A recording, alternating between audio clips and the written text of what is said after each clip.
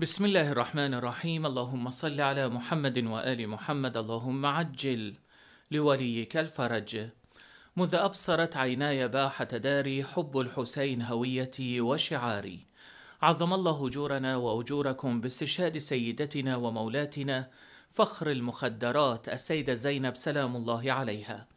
نسأل الله سبحانه وتعالى أن يعجل بأيام الإمام المهدي المنتظر. عليه السلام وننادي خلفه في يوم عاشوراء يا لثارات زينب.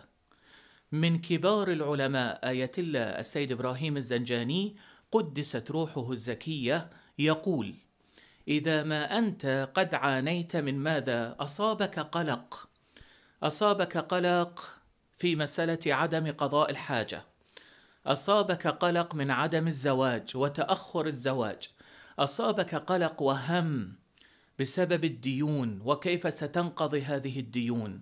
أصابك قلق وهم بسبب المرض والعلة متى تشفى منها وهل ستشفى منها. أصابك قلق وهم وكدر بسبب مشكلة أسرية مشكلة في العمل مشكلة مع عشيرة مع أناس معينين إلى غير ذلك.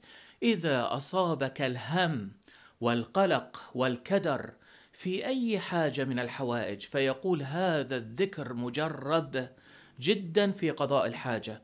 وهو أن تقول 313 مرة يا مهدي. يا مهدي 313 مرة. يعني تدير المسبحة في يدك ثلاث مرات و13 مرة. يا مهدي يا مهدي يا مهدي. فإن الحاجة إن شاء الله فورا يرفعها صاحب الزمان إلى الله سبحانه وتعالى ولا تنزل إلا بالقضاء. بقضاء حاجتك في مسألة الشفاء من المرض النجاح في الدراسة التوفيق في الدراسة التوفيق في العمل.